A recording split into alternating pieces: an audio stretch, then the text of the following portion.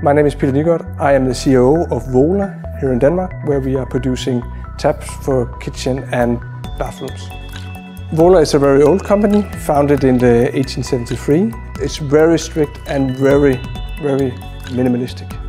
All Vola taps is produced here in Horsens.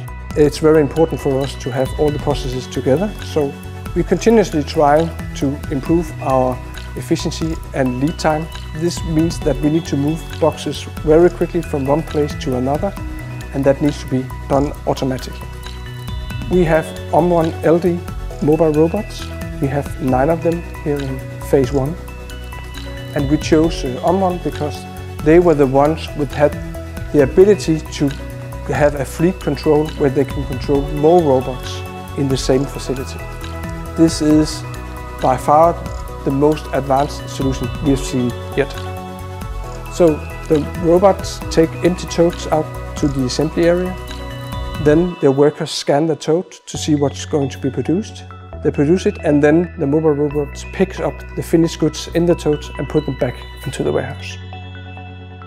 We are very much focusing on being able to react to different uh, demands in the market and make a high-end, high-quality uh, product.